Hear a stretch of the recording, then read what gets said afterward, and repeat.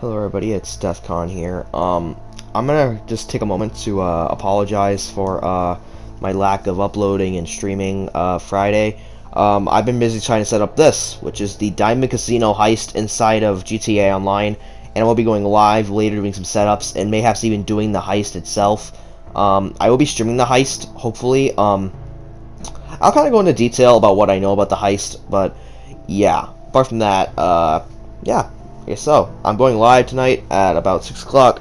I wasn't able to go live last night because, like I said, I was busy working on trying to get the money to buy the arcade and obviously to get all the properties ready for this heist, but honestly, I think it's one of the most highest, highest paying heists in GTA Online, so yeah.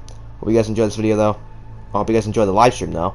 And uh, I'll see you guys during the, uh, in the heist and the setup, so, uh, yeah. Ciao.